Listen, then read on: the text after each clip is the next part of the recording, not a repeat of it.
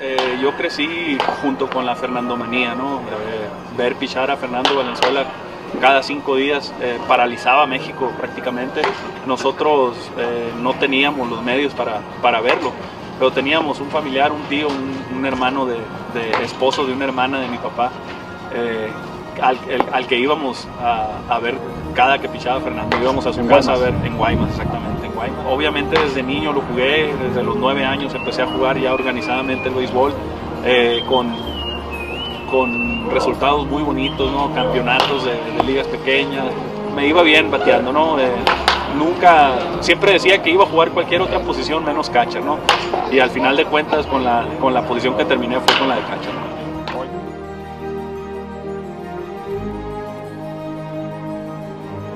Llegué aquí a la capital, el equipo de Diablos tenía un campamento de jóvenes trabajando en las mañanas y, y aquí trabajamos nosotros con el señor Alberto Guachín y con el señor Don Leo Rodríguez.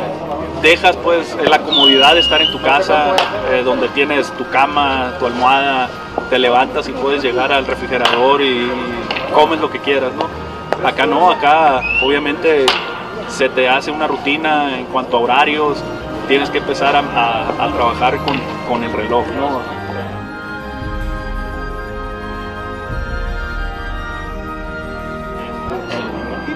En Bradenton, cuando jugué la, la, Liga Rookie, ahí no había mucho problema porque ahí estábamos eh, dentro del campamento y ahí pues tenías desayuno, comida y cena.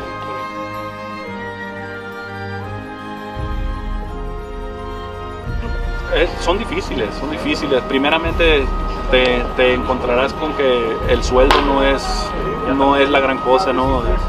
Había, había veces en las que yo tenía que decidir si comer o cenar, ¿no? Porque en, no, en no de grandes sucursales de grandes ligas.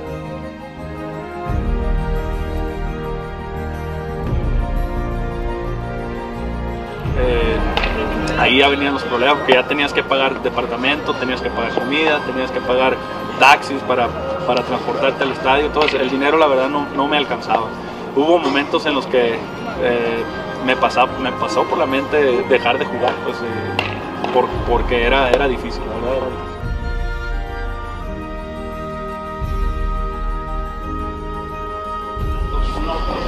los campeonatos que logré aquí con Diablos, eh, en el invierno, series del Caribe, eh, pero sin lugar a duda la consumación, ¿no? el sueño de todo pelotero cuando se cumple el, el sueño de, de, jugar grandes ligas.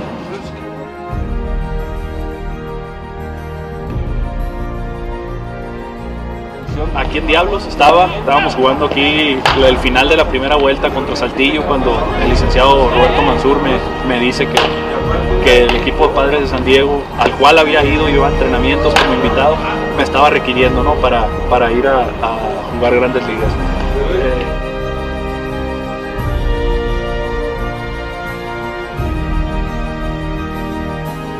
Eh, llego allá, eh, estaba el equipo jugando contra Bravos de Atlanta, contra Vinicio Castilla. Pues mi primer juego fue un domingo. Yo llegué el sábado de la noche y debuto el domingo, ¿no? Con, contra Ross Ortiz, que era el pitcher de Atlanta. Eh, perdimos, perdimos 10 a 3. Eh, yo le caché a Brian Lawrence. Brian Lawrence. Sí, de, de todo, de todo. Eh, después vino un momento muy bonito en donde me meten de emergencia en la décima entrada con el juego empatado, eh, jugando en San Diego en el Parque Cualco y me toca decidirlo con un cuadrangular, ¿no? Pegué un ponrón ahí y bueno, ese fue uno de los momentos que se quedan grabados para siempre.